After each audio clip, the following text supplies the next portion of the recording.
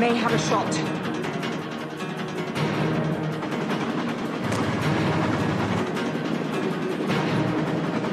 It's not clean. Repeat, I do not have a clean shot.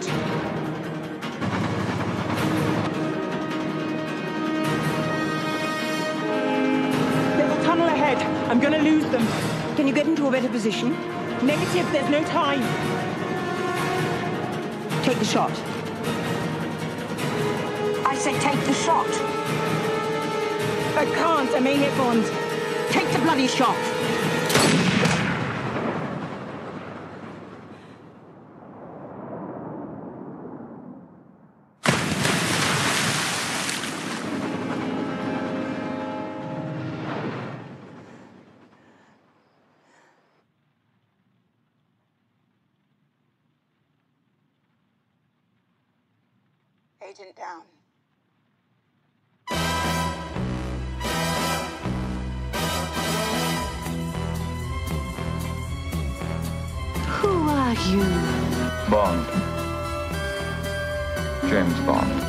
I think you're a sexist, misogynist dinosaur, a relic of the Cold War. Shaken, but not stirred. 007 reporting for duty. These are the Double O files. Good day, everybody, and welcome to a podcast of the Double O Files. Um, my name is Anthony, and I'll be discussing elements of a Bond uh, Bond film. I'm not going to do this on my own. With me are three members of the Double O Files. Would you please be so kind to shout out your name? Don! Tyler. Martin. Thank you, especially you, Don. um, okay, a brief explanation what we did. We took the pre-title sequences of all 24 Bond films and we graded them individually. One point being the lowest we would give, and five points being the highest we uh, could give for a um, pre-title sequence. And of course, you you needed to give some ones and also some fives and, and numbers in between. And then we made a list in Excel and You see if we see. right? Yeah, I love it. See if we are any differences between us. And um, so yeah, that's what we did. So let's kick off with maybe the most important question of this podcast. What is the definition of a good Bond pre-title sequence for you, Well, Don? Bond needs to swim with a duck on top of his head. It's in, in all pre-title sequences. in every pre-title sequence, that's uh, Doesn't matter that's where a he huge is. benefit. Yeah, I think no, not necessarily. What I love from a pre-title sequence is if it's a standalone mission, like if it's uh, a, like an in-between mission, like um, something that happens after the previous film and before the next film actually starts, and it bears no no notion or whatsoever on the actual story. So some pre-title sequence they try to be almost standalone missions. For instance, with uh, Tomorrow Never Dies, with the uh, Arms Bazaar, you think, oh, this is actually has nothing to do with the film, but then It there's does, yeah. Gupta with the GPS encoder, and they sneaked it in there anyway. But I like the missions on itself. I There are really only a like them. handful of films Not that that many. That's right, and some are really strange. Then again, also, but we're gonna Yeah. delve into that. Okay. But that's what I like. So you really want it to be a standalone film? Standalone mission with everything in there. So you need a girl and excitement and explosions and gadgets and everything crammed into five minutes, six maybe, seven. I 007. completely agree with you on that. Okay. I really want the pre-title sequence to be a standalone film and have action, a bit of humor. It's like a nice Marvel girl. one shot, but Yeah. then a 007 one shot. And it's really yeah. it's it's like it's it gets you excited for the film that is uh, you know about to be uh, about to come. So that's that's what I think should be the the function of a pre-title sequence. Tyler, what's your definition of a good pre-title sequence for a Bond film? It has to be short, just like my Here, answer. uh, no, no, it has it has to be short, and I do like it when it has some connection to the plot, but not as much. Like what they did in GoldenEye, for instance. It's a it's a standalone mission. It has a, a beginning, a middle, and an end, but it does have something to do with the rest of the film. Quite a lot actually with GoldenEye. Yeah, GoldenEye might not be the best example, but it's it's like But you don't know that until halfway through the film. That's true. Yeah. That's well, true. that's it for me. Okay. Okay. Martin. Yeah, I don't really care too much if it's like relative to uh, or related to the rest of the film or not. I mean, I really do enjoy uh, the Octopussy one, even though there's nothing that comes along uh, into the, the rest of the film. But I just really want this one big stunt which ma- makes you go, yeah, this is like this is it. I'm really watching a Bond movie now. For example, taking uh, a plane out of a horse's ass. That's the favorite of my sons. He loves that part. When I, But how cool is it? You just drive along with a car with the trailer, just very Exactly. inconspicuous, and a microjet just comes out Exactly. of it. That's what my son said. He said yeah, that. It's so I told cool. him. I told him we're going to record this podcast uh, today about pre-title sequences. What do you like? And he said, "I don't know how they fit an airplane into a horse's carriage. How did they do that?" So yeah, that's amazing. Yeah. Should Perfect. any of our listeners know the answer to this question, please let us know. Well, they actually just did it, right? I mean, Yeah, but how did they do it? That's the I mean, question. you fold up the, the wings and then I don't know. Stuck it in there. But uh, how did Roger get in it? And how did the horse get out on time? I don't know. All right. Um, so let's get to the 24 pre-title uh, sequences. As I said before, we all graded them, giving a one, two, three, four, or 5. So four of us. So a film can have a maximum score of 20 points and a minimum of 4. Right, if we all gave it a one. If we all gave it a one or- and we, we cheated a bit, right? Because Doctor No Of doesn't course. have a pre-title sequence. No, so we decided to take the, the three blind mice shooting. Uh, yeah, walk along as uh, the pre-title sequence. Let's kick off with uh, the bottom three uh, pre-title sequences, and only nine points. You just mentioned it is the three blind mice uh, pre-title sequence. Oh, really? That's Yeah. uh, the one with the least points. No, no, no, no. It's uh, there are two pre-title sequences who have even less points than uh, Oh, wow. the one of Doctor No. But let's kick off with this one. We have we gave it in total of nine points. That's not that many. No, No, yeah, you bit. gave it three points, Don. I like it. what do you like about it? I love the effort that the the hitmen put into their henchmanship, walking around Jamaica for the entire day, probably. I like the fact that it starts within the title sequence. Mm-hmm. I like the music, which is absolutely perfect. I love the way Jamaica looks. It's so pretty, so colorful. And then they walk up to Queen's Club, and you get this weird bridge game, and some guy has to leave, and you don't know what's going on, but he he walks to his car, and he's just being nice and friendly, and he gives some money to these poor people, and he wants to uh, get in his car, and all of a sudden he's shot. It's like, what's going on there? I don't know. It's when I first saw that, I was shocked. I was absolutely shocked. What is going on here? I really like that scene. Yeah. When I watch it, I always have to think about what the person who played the actor who played Strangways. He he says it in one of the documentaries that he. Yes, well, I'm six foot one, and they only put six feet of me in the in the car. So when they slammed the door, they slammed it on my head, and I, am still feeling it. But yeah, yeah, I think it's a, a very good start of a film. Yeah, it i- is a nice start of a film, but if you compare it to all those other pre-title sequences, yeah, but it's a bit boring. yet. No, of course, but no. In hindsight, looking back at it, it's you still give it three points, uh, Don. So you think it's better than, for instance, um, Oh, what did I give it? Scaramanga's training. So the opening of the Man with the Golden Gun, you only give it two points. I don't like that one. no, you don't. No, I don't like that one. Tabasco. It's, oh, it doesn't make any I sense. apologize for the hearing of all of our listeners.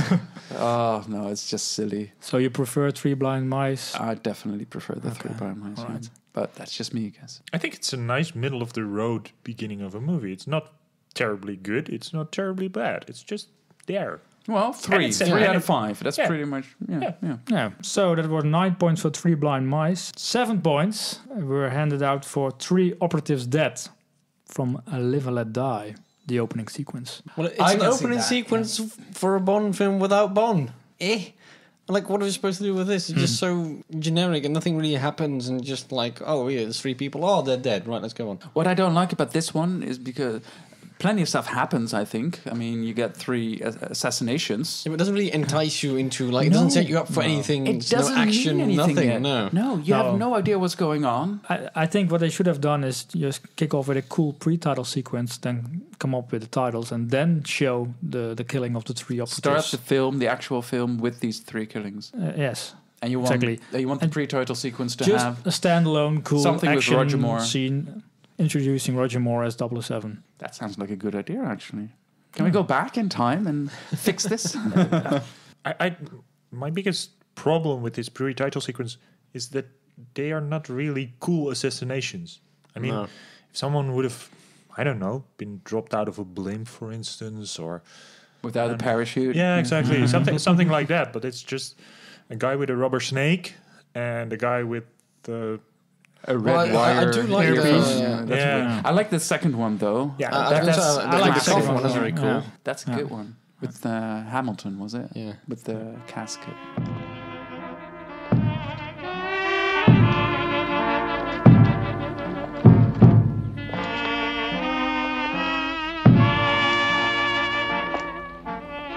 Whose uh, funeral is it?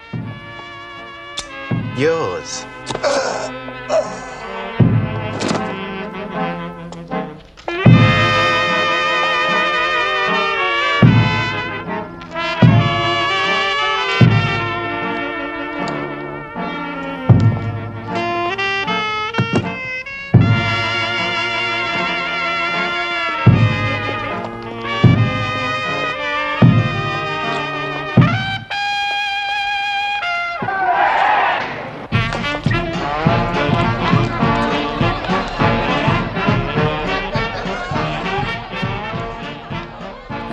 Hence, how many points did I give We it? only Two. you um, It it got seven points, right? got seven points in total. Yeah. Yeah. It's not one of the best. No. Is it that the fact that Bond is missing as a person? no. Well, doesn't help. Well, I think, it's, like we said, nothing major happens when we don't have any connection to the people getting killed. We're just you're just watching it. Just- If you start a Bond film, you don't want it to start with the most boring speech ever at the uh, building of the United Nations. It's like you're you're putting your audience to sleep even before your mm-hmm. film actually starts. It's Yeah. like not a good way to to begin, I think. But However, there is one Bond film that even less even, point. even less points. It only has six points, which is The Search for Blofeld. Diamonds Are Forever. Oh my god. Oh. We all know ah. by now, Don, that you don't particularly like diamonds. No, I'll shut was up gonna for say, a this is the example that you don't actually like having Bond in your pre-title doesn't make sure it's a good pre-title. Making mud pies, 007. It actually is like almost like a standalone mission, even. How did it ever get six points? That's what I'm wondering.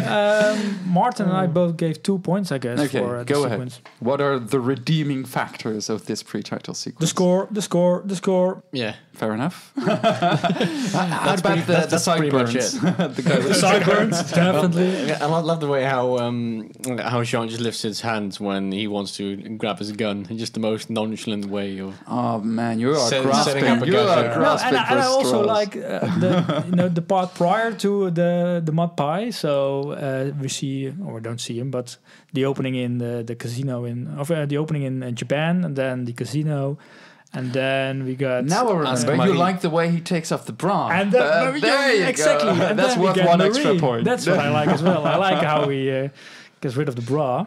And we have, of course, the, the cool Barry sound. So that's why it gets two points for me.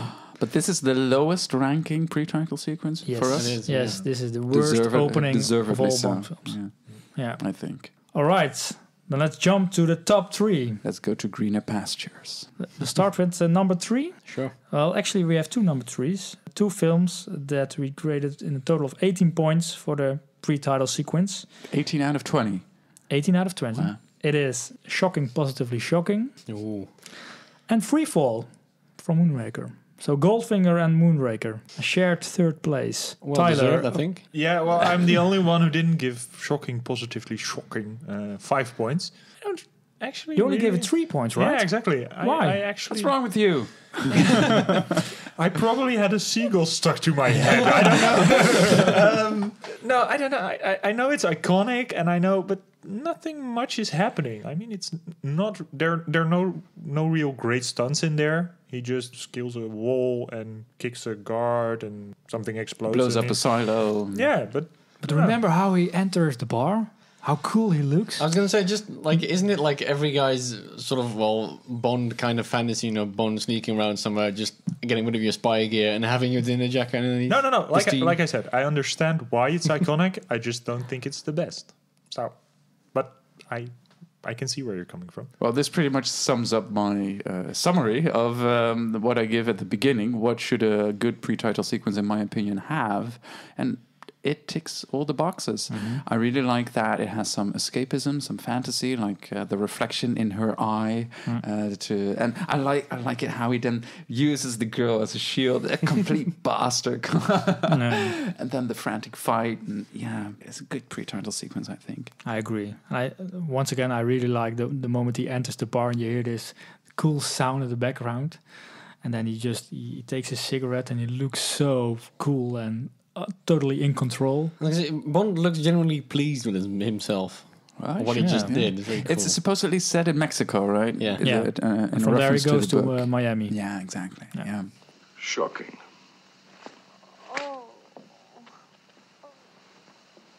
Positively shocking. It's a good one. And the other one was Moonraker. Yeah. The other one was Moonraker. Exactly. How can it be so low? Tron, I'm, any higher? No. I'm, I'm looking at you. Any higher, Mr. Bond, It my is 18 ears will points pop. in Yeah, total. I know, I know. I'm- am I the only one who didn't give it five points? Uh, what Yeah. did I give it? I give it. Uh, I gave it five. Yeah, Wow. we all did except you, Anthony. I gave it three, I guess. Yeah.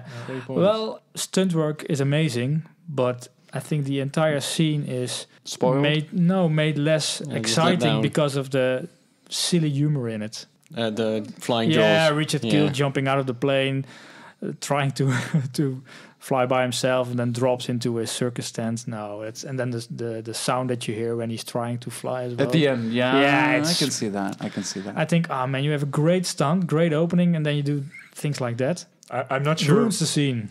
I'm not sure me. whether I, I should save this story for the actual Moonraker episode, but I think Moonraker was, was the first Bond movie that I ever saw. It might be Octopussy, but Moonraker was the one that made a very large impression on me when I saw it for the first time. We were staying at a, at a very posh hotel in Amsterdam, and me and a friend were watching Moonraker, and we spent the rest of the day jumping on the beds, reenacting the pre-title sequence of Moonraker. And who were you? Jaws or, or Bond or the pilot? Pr- probably uh, each of them. But there's lot, lots to love about this pre-title sequence. Yeah. There is. This, it starts with the with the huge airplane, right? The um, the is it a Boeing with the shuttle on Yeah. top? Yeah. And you got the the sneaky uh, thieves uh, that crawl out of their hiding places and they sneak out, and you got the the pilots that are just enjoying their flights. I don't know Just Jarry what. officer. Yeah, exactly. They're having a, a jolly good old chat, and then all of a sudden. Wait a moment, the Moonraker is lifting off. What do you mean? And then they explode. That's a strong scene. Ah, that's horrible. And then um, you got a good M scene as well with Moneypenny. Tell him to pull out immediately. No That is pun good. intended. and none whatsoever. You get a beautiful girl with Roger Moore. You get the funny pilot with the goggles. Yeah, I all get that. I all get that. the, the Excellent stewardess- song. As uh, the music as soon as Jaws starts his dive. Oh, that's amazing. I'm still with you, but And then he starts flapping his Then arms. starts flapping his arms, and we get this. If we just cut off the last 30 seconds, you'd probably give it a 5. Then I would stars have as given well, it a five. Yes, definitely. So sorry. There you go. It's a it's a nice scene. It's a nice pre-title sequence, but it's not the best for me.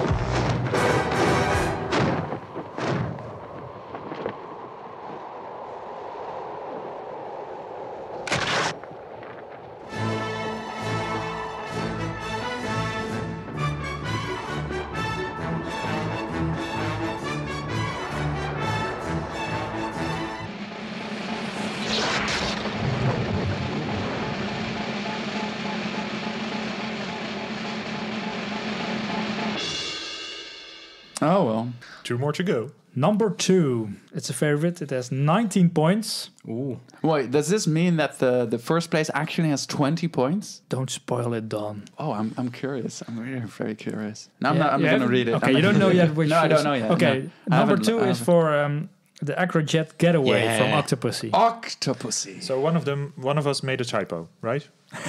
For only scoring 19 points. I don't know who gave it four. Yeah, was it me? Uh, no, it's Anthony again. Was it you again? Yep. Don't know why I gave it four. Could be that when I fill in yes tomorrow I can give it maybe two or one. So you're a No, Toro five. This No, is really the pinnacle, right? Well, one of them at Fire least. away, Tyler. Well, it's it's just such a nice mini adventure. It has, well, it has Bond with reversible cap and a reversible jacket, saying goodbye to a beautiful lady. Have you Um, seen that jacket in uh, Bond in Motion? Yeah. Yeah, they have it. It's so nice. Ah, they should bring that back. Something like that. Yeah, and then just he, he gets caught and Just rewind two seconds, just a little bit of like uh, Roger. He's posing as a colonel, wasn't And it? he- I and just, he he passes the that gas guard pass. and- He's Pay just like, attention yeah. to this. Just the cockiness of it is just amazing. So you're a Toro too. I like that one. oh, this world. very good. Right, and I like to you. um, the, the the truck driver. Yeah. The, uh, The look on his face. Yeah, oh, so with the beautiful girl driving past. Ah. Oh, That's true. Yeah. yeah, it's just to me, it's, it, it it is everything that makes Roger Moore's ten. ten Maybe I should have Bond. given it five points. Fill her up, please.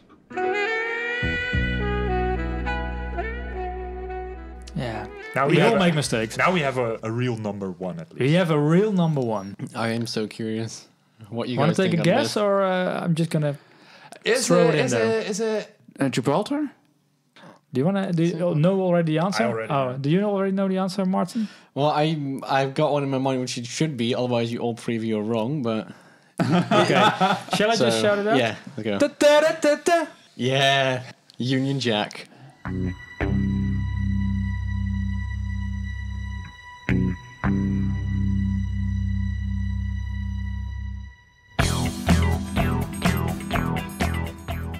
Union Jack skiing. Who It's Me. peak Bond in every single way. Twenty points. We all gave it five points. Yeah, deservedly so. Yeah. You, you look a bit disappointed, Don. I was hoping for Gibraltar. No, but- didn't even make the top three. Oh man!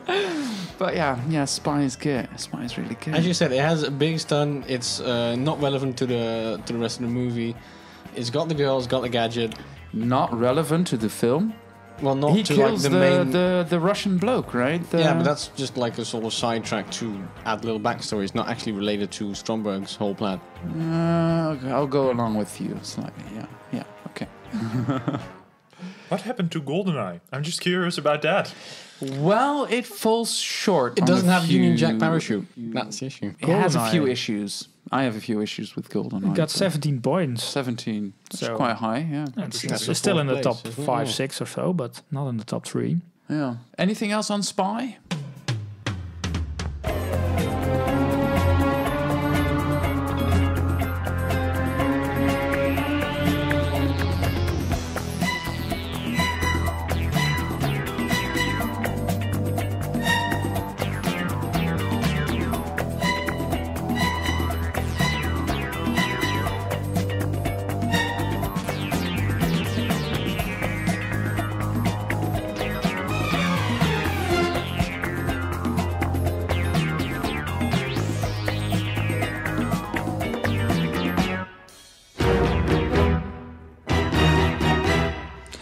Has uh, it has uh, all the things a pre-title sequence needs to have. It has action. It has a great stunt, a really great stunt, good score, bo- uh, a I was girl. going to say one of the most uh, groovy Bond themes ever. Yeah, So does England. ta-da. All right, cool villain. difficult question. Which of the two is better? Um, the actual pre-title sequence of The Spy Love Me or the Alan Partridge sketch? No, that's a, Stop that's, getting Bond wrong! That's a, that's a tough one. yeah. That one just went over my head. I really have missed Really? something. I, apparently, I have. Yeah. Wow. No, but Shame re- to admit it. recently, um, the oldest boy back home, he's 11. He needed to give a presentation at school, and it, uh, the topic was heroes. And they gave some examples like Nelson Mandela and uh, Gandhi, and and then he said to me, "I want to do it about James Bond. Do you think the teacher would uh, uh, would, would allow me to?" I said, "Yeah, of course. Just do it." and so I helped him make a PowerPoint. and he said, "I want to show one small clip, and it has to be really cool." So I, you know, showed him some clips, and then we get down to this sequence where he skis off the, off the the mountain, mountain, yeah. and he said, "Yeah, that has to be in it." And he said that all the kids in the class said, "Wow, wow, did they really do that? That's the computer, right? No, it's not a computer. Yeah, it has to be a computer. Doesn't exist yet. No, back in '77, they all did it. Really? Have you read the John Glen autobiography?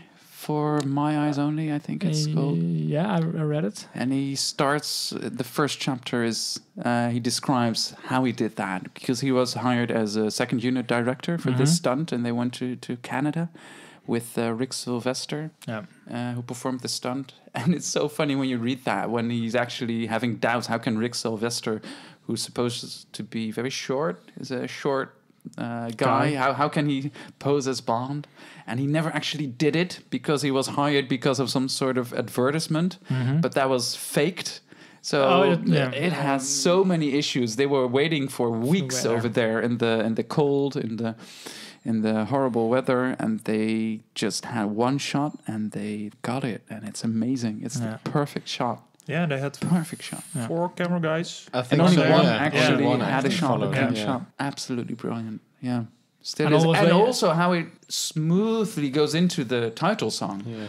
With the girl that picks up the um, the parachute. yeah. Yeah, and in the making of, they also mentioned, and I can imagine it, that in, in, in England it brought down the house when they sh- Yeah. when they Yeah, saw the Union standing Jack, of course, And the banana suit. and the bananas. yep, the bananas. Yeah.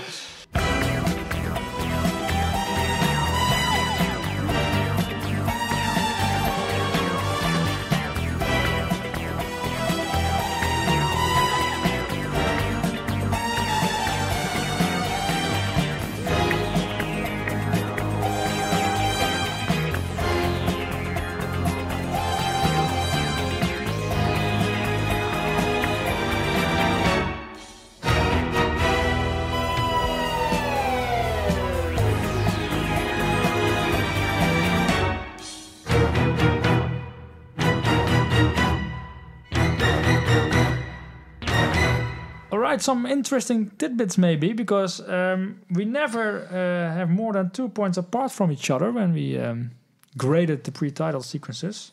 There are some small differences. For instance, the man with the golden gun, Tyler and Martin, you both scored it with four points. No. Um, And both of you got it Yeah. wrong. Yeah, and Don and myself only two points. So Yeah, there you go. A Bit of a difference here.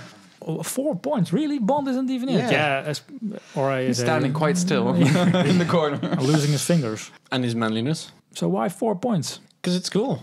It's it's. Uh, I love the set design with all the um, all the, the different rooms and the the illusions and and ju- I don't know. It just works for me. It really builds up the tension. It gives you an insight of uh, of who Scaramanga is. I don't know. I just really enjoy it. Yeah, it, it, it just works for me, especially because you return to the fun house at the end of the movie as well. So you know what's coming. And also, I don't know if you guys have that as well, but this uh, assassination guy is supposed to be the, uh, is the same guy from Goldfinger. So like you try to make the link as a Bond fan that you know is sort of Diamonds, continuity. you mean. Diamonds, yeah, yeah, from diamonds, Diamonds, yeah. yeah. Sorry, yeah. Yeah, I I didn't know there was a pool down there. there. Yeah. That guy, right? That guy, yeah. Yeah. It's- so it's it's fun to imagine that he just went on and lived. So down why only the two points then? Um, What's wrong with you two? No, well, because I like the sequence. I would have preferred, just as I said with Live Let Die, that it would have been the first sequence after we had the opening titles, and it would introduce us to the bad guy, and just have a pre-title sequence with Bond. Um, however, when I think about it, uh, if we're talking about the film For Your Eyes Only, I would have enjoyed it if it would have been the other way around. So skip with the whole blow Blofeld down a chimney sequence. The Kick- St. George's as a uh, pre-title. Yeah, and Mm. the the killing of the Havelocks, Mhm. and then end the focus on the eyes of Yeah, I was gonna of- say, I of thought Melina, that was supposed to be- the title sequence. Yeah. I think that would have been a really strong opening for the film, and now it's kind of a mm, one one opening. Just a few thoughts on the man with the golden gun. Why I don't like it that much. I don't like it that Bond's not in it. Also because it kind of spoils the film a bit. You know, at the beginning of the film already how it's going to end, especially how Scaramanga is going to lose, uh, which is Well, too there's only after predictable. multiple viewings. I mean, Yeah, if you're a kid, if you watch it for the first time, you might You not must be some guess. sort of but if you psychic, yeah, have um, any amount of intelligence, you probably know where this film is going to go by the end of it. Also, it has many inconsistencies um, with the rest of the film, like. Um, but again, yeah, if only if you know the film. Uh, how can Miss Anders don't know who Bond is, even if Scaramanga has a statue of him? Why would you keep a statue of your biggest enemy there with a loaded gun? Uh, and the whole fun house, you like it, Tyler? You say it works for I you, do, and yeah. I, for Yeah. some reason it works for you, and for some reason, I just think it's very silly. You know, to have I can see where you're coming from, but and I like this is very stupid. I don't like the tracksuit. Scaramanga's uh, tracksuit. he looks awful. In it.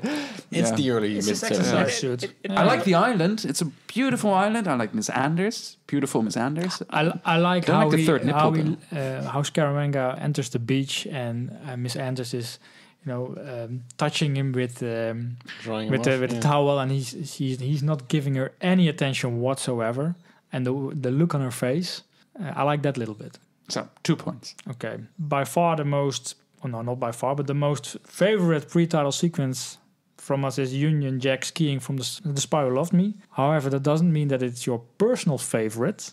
So I would like to know what is your personal favorite pre-title sequence. I'm going to start with um, you, Martin. Uh, well, if I don't want to pick the Union Jack skiing, I'm probably going to go for License to Kill because it's such a very good Bondian thing to do. It's a very cool scene. I love the score. What did he promise you? His heart? Give her his heart. And it just the whole ending has got some humor in there. It's got some drama. It sets up some characters for the rest of the film. It's got the whole package really. I love the father-in-law in that. in the, uh, Della, Really Della's angry, father. yeah. Yeah, I great. told you this was a bad idea. So what's your favorite, uh, Don? Uh, Gibraltar, Living Daylights. I think that's absolutely perfect. I still haven't been to Gibraltar. That's uh, that's on my list to go. But what a way to introduce a new Bond! Oh man, with the um, the double O's, the exercise, the the mole in there. Oh, I love the the stunt work. It has everything. It has the, the, the pretty lady on the boat. If only I could find a real man. I love Timothy Dalton. I love the way that you actually see Timothy Dalton's face for the first time. Um, Turning with around, the looking wind, menacing, uh, yeah. oh, He does it's look cool. amazing. He's great. I love him. They shot it in the studio, right? Yeah, yeah, that's Yeah. a studio shot, but he's You don't, perfect. you don't see it. Not really. You don't see that. That is a studio shot. Yeah, not I think it's very well It's done. very well yeah, done. Yeah, yeah. And then to imagine that he was actually on top of those jeeps for, Land Rovers, yeah, Mhm. for pa- part parts of of the, it, yeah. and you get like four or five times that Paul Weston has to get out of the way. One of the stunt guys, Yeah. he's in it quite a lot, and you get the the perfect line. Hey, hold on, you're dead. It's like, oh, that's perfect. Yeah, I love that scene. Tyler. I, I have four fives on my list. We've discussed all of them already. Moonraker because of the rose tinted glasses. Like I said, one of the first uh, first Bond movies I ever saw. Octopussy because it's just a romp. It's it's it's it has everything. Also love, of course, the the Union Jack parachute. But I'm the only one who gave the GoldenEye pre-title sequence five points. I remember being at the cinema for the first time at a new Bond film, and it, it just brought the house down. First of all, the, the, the great stunt with the with the bungee cord, and then just the, the free falling after a plane and getting it, and, and then the explosion, and it, it really brought the house down. Everybody was cheering, and and that's something that I'll never forget.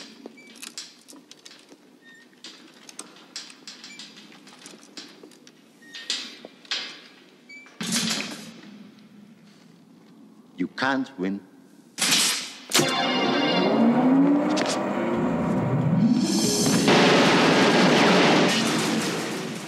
Well, my personal favorite, we already discussed it, is um, shocking, positively shocking. It's it doesn't have a great stunt, but it is so utterly cool. I can watch it over and over again. But so, also, one so- sec. How come it didn't end up on the PowerPoint presentation of your? Uh, Oh, yeah, he didn't like it. okay, but it has a seagull. he was in charge. yeah, so now he wanted to have some action in there. Um, but I also Blowing have up an opium factory Yeah. action enough. Probably not for a kid these days. Shocking. Yeah. but I want to have an honorable mention for the opening of Spectre. Actually, I gave it five points. I think it's by Fair far enough, yeah. by far Yeah, the best could thing of the there. entire film. And I remember seeing it for the first time on, on opening's day. The one shot is amazing. I'll give The it one that. shot. That is You mean the very three shot? good. Yeah, which is actually a three shot. But I, I, I love everything about that sequence. It's so strong. The one shot, three shot, the the, the atmosphere from the Day of the Dead. Um, there's walk one girl on the in there. roof. There's a cool villain in there. who has a really cool face. I think Yeah. And uh, you can say that Craig looks so cool uh, walking Yeah. over that roof. He is it's all downhill from there. But this is a brilliant film uh, opening. Sorry. Yeah, I give you that. I give you that. Yeah, it's a it's a good good pre-title sequence. Has any one of you seen Birdman? Yes, Yes. That I mean, the, the whole one shot thing started there, I guess. No. it's also by uh, Alfonso Cuarón. Uh, No, no. It's, about, it's not, Birdman. it's- no, it's another Mexican um, director, Alfonso Cuarón from The Children of Men, which yeah, but has a didn't he great. do Birdman? no, Really? hey, really. I'm gonna look it up. That's okay. Okay. So, pre-title sequences of the Bond films. Um, the number one was the Union Jack skiing. Number two, Octopussy Ac- Acro Jet Getaway. And number three were the openings from Goldfinger and Moonraker. Guess that's it for now, guys. Here we go. It's Alejandro Inarritu That's or not, something like that. That's not Alfonso Cuarón. That's not Alfonso Cuarón. No. All right. Is it a fellow Mexican? Yeah, there. But that's not Next a real neighbors. one shot, right? As well, that film. No, That- no, no, of it's two or not. three shots as stitched well. together. Uh, how, there is one film that is one shot. It's 140 minutes long. It's Victoria, a German film released a couple of years ago. I heard about that one. Yeah. That's a really strong one. Okay, Wow. sorry for that. Cool. So, what do we get for the next pre-title sequence? You think? What, what would you like to see? Something that brings down the house again. Yeah, just Just makes you be proud of being a Bond fan an Acrostar coming out of a horse's ass. Amen. with a seagull on his head. yeah. yeah, that would be amazing. Yeah. okay, guys, that's it for now. See you later. Ciao. Bye.